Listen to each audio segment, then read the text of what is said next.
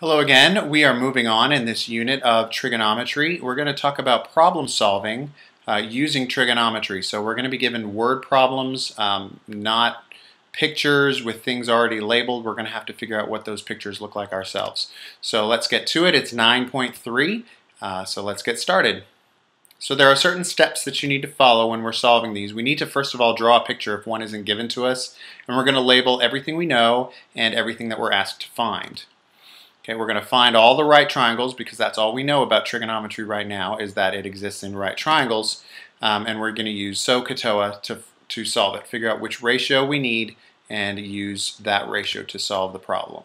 Okay, so here's an example. We have Sarah looking out her apartment window to a building that's 20 feet away from her building. She looks up at an angle of 35 degrees to see the top of the building and she looks down at an angle of 70 to see the bottom of the building. So how tall is the building? Okay, so let me draw a picture. Here is Sarah's building and the other building. So she's looking uh, across 20 feet if she looks straight across. If she looks up, that's a 35 degree angle, and if she looks down, that's a 70 degree angle.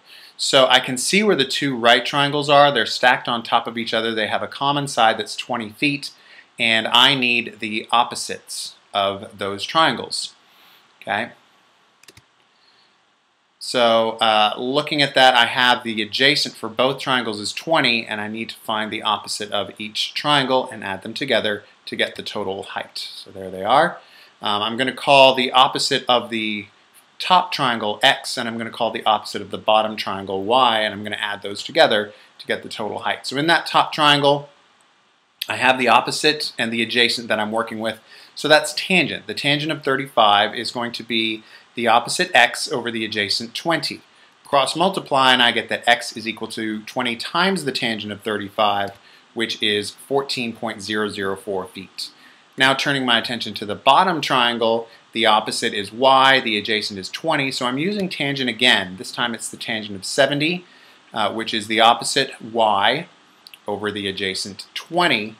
Cross multiply, I get y is equal to 20 times the, the tangent of 70, so y is 54.950. So if I add x and y together, I should get the total height of the building, which is 68.954. Okay, now here's a tricky example. Uh, we have Jack standing and looking at the top of a flagpole at an angle of 70 degrees. He then walks 8 feet away and looks up at the top of the pole again, and now this time the angle of elevation is 60 degrees. So how tall is the flagpole? So there's the flag. And then here he is looking up at an angle of 70 degrees. He takes a walk 8 feet backwards, and now when he looks up, it is 60 degrees. Okay, so that's kind of the diagram. I can't really see any uh, right triangles in there unless I draw in this uh, extra length here, which is x. I don't need to know what x is to, you know, as the answer to this question, but I will need to know what it is to get me to the answer, which is actually that height, that h, the height of the flagpole. Okay, so here are a couple of triangles. I can see one. It's really hard for me to see the second one because these triangles actually overlap. So let's split this problem into two triangles. Okay, so I have one where the bottom side is 8 plus x, and the right side is h, and the angle is 60 degrees. And then in the second one, the bottom side is just x, um, the right side is h again, and the angle is 70 degrees. So looking at the left triangle, I've got the opposite and the adjacent again. So that's the tangent. The tangent of 60 degrees is going to equal my opposite h over my adjacent x plus 8. So if I cross multiply, that's what I get. Uh, 8 plus x times the tangent of 60. So that's 8 times the tangent of 60 plus x times the tangent of 60 if I distribute, use the distributive property on the right-hand side. Now from the right triangle, I've got opposite h and I've got adjacent x, so I'm dealing with tangent.